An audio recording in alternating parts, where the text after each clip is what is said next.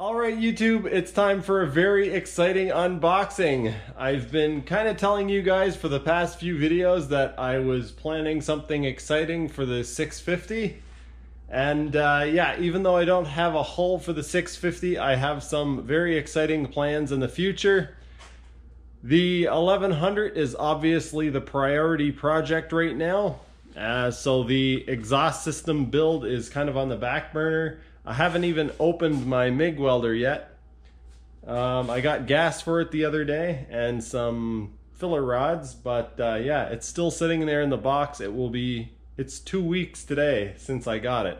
Uh, anyway, the reason why I'm uh, making this video is because we have a very exciting unboxing. This is going to be an upcoming project on the 650 and I need to show you guys because my mind's going to explode from excitement if I don't. The Kawasaki 650 is going to get a serious upgrade. There's going to be some very exciting projects on my YouTube channel coming up very soon. And this is going to be one of them. My goodness. Oh my goodness, this thing is cool. Oh man. Oh, I'm so excited right now. I am so excited right now. Holy crap.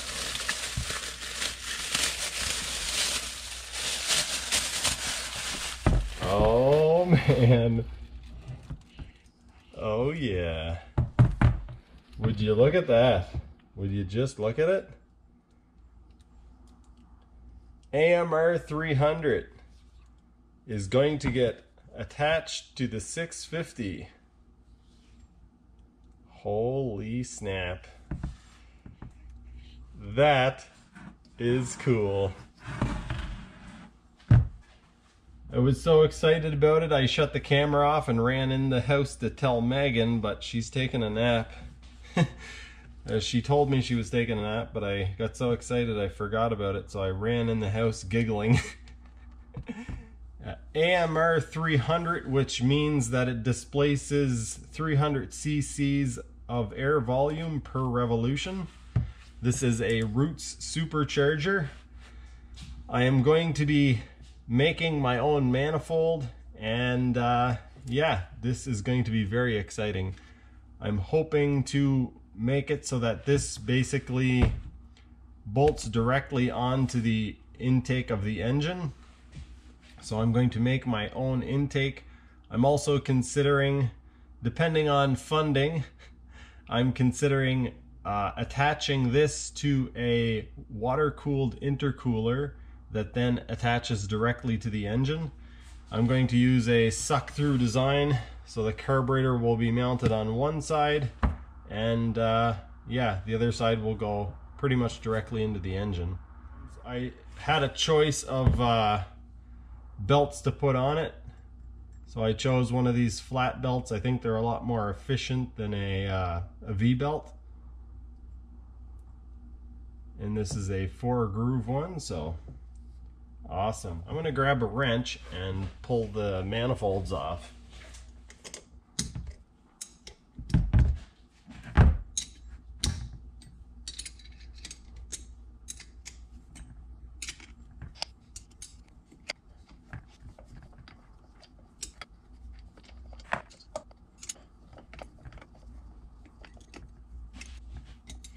Kind of surprised that they don't ship with anything covering the holes. Because you don't really want stuff getting in there. But also surprised that they don't have any kind of a gasket or anything. There's a little piece of debris there.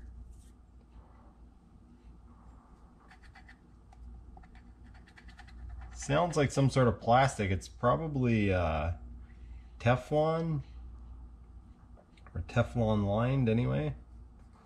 Man, that's cool.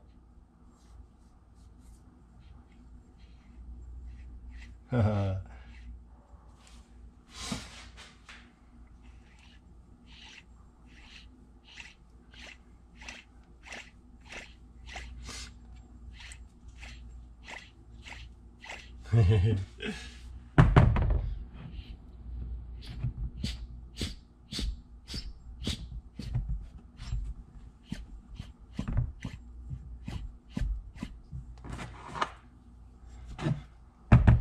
don't think it's any different on this side, but we'll pop it off anyway.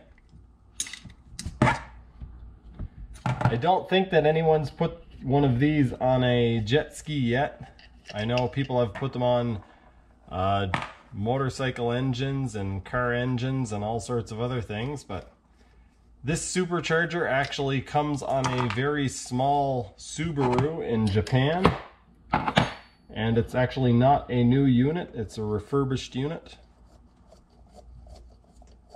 So those are some fun details with a supercharger and a turbocharger you can just spin them faster and create more airflow and more boost uh, especially easy with a supercharger because you can just change the pulley size and then you can spin the supercharger faster and it creates more airflow the problem that you run into is uh, inefficiency. So at a certain point, basically the airflow that's going through will end up getting very, very hot. And one way that you can take care of that problem or minimize that problem is by making the porting very efficient. So trying to shove air out of that hole into this shape of hole obviously isn't going to be very efficient. So one way that I can lower the intake air charge temperature, I said that kind of funny. One way that I can lower the temperature of the intake air charge is simply by making a manifold on both sides that uh, matches up a lot better and I can actually get in here and clean this up. I watched a video on YouTube of a guy disassembling an AMR 500 which is the big brother to this and uh, he had to use a hydraulic press and push some stuff apart and it looked kind of sketchy. So earlier I said that I was going to do some porting inside of here, but I've kind of rethought that. I don't really want aluminum shavings getting into the supercharger and it would be pretty much impossible to stop that from happening. I think I might be able to put some very thin plastic in behind the rotors and kind of get them in there somehow. But unless I can do that, I'm not going to go in here and do any porting because I don't want to ruin the supercharger before I even use it. All right, let's step out of my recording studio and head on over to the garage and see how this thing is going to attach to the 650.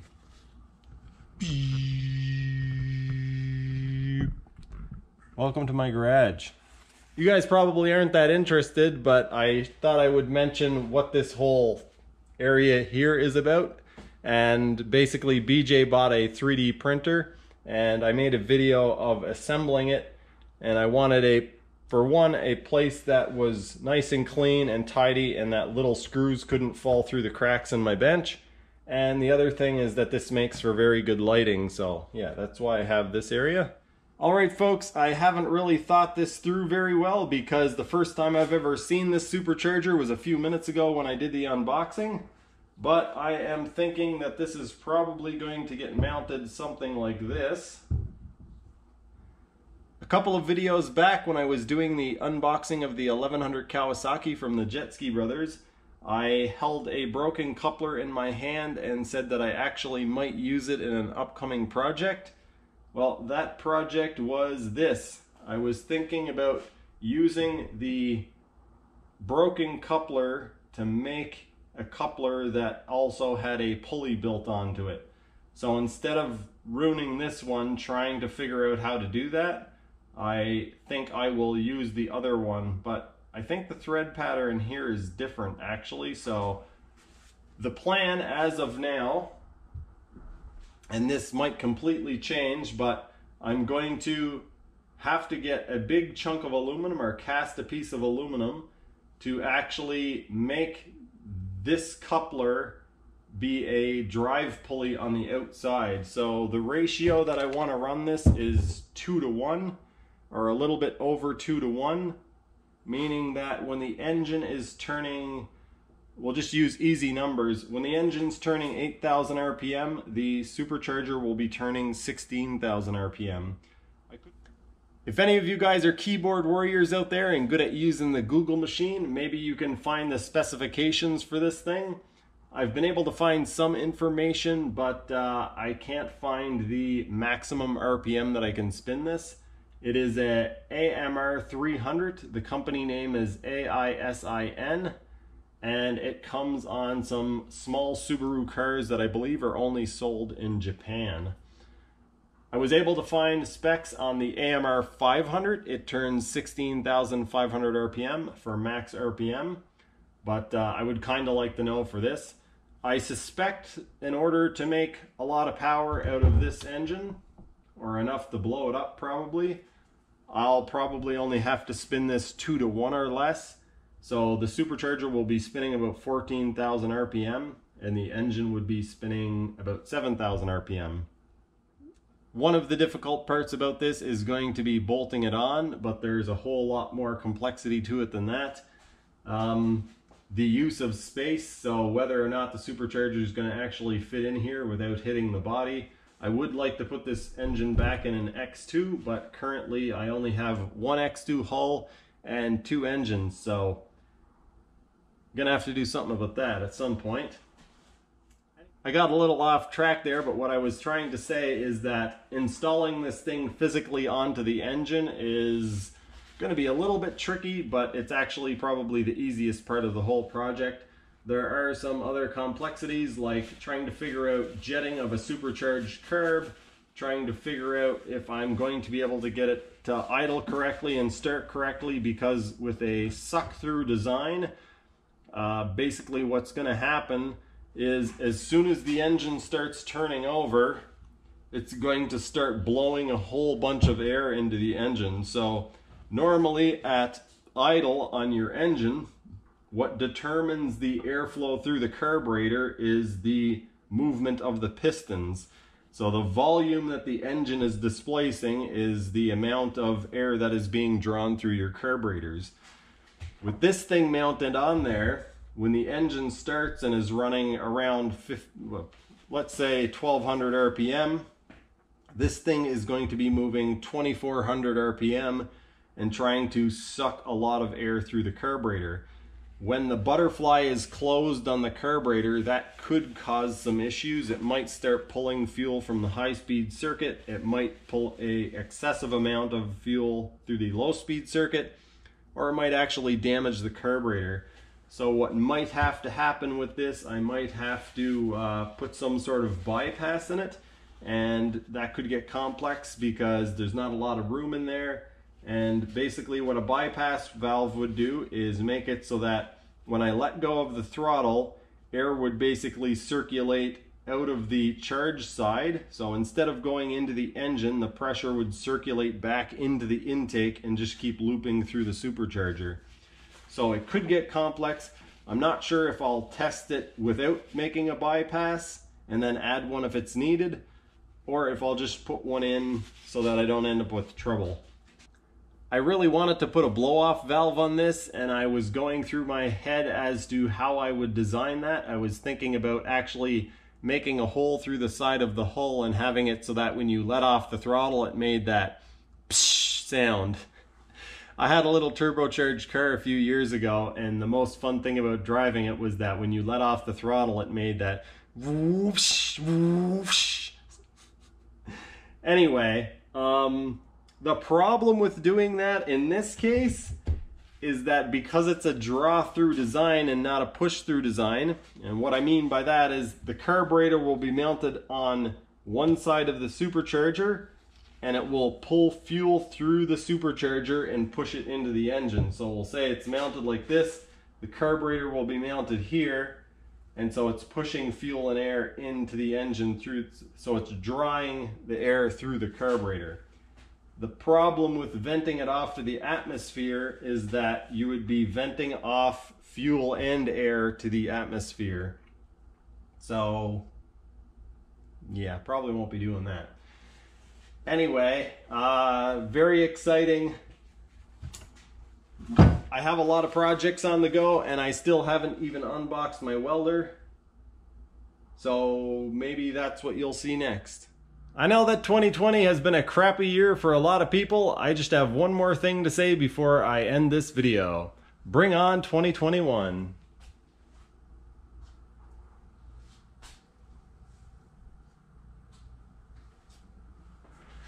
Thanks for watching, and I'll see you next time.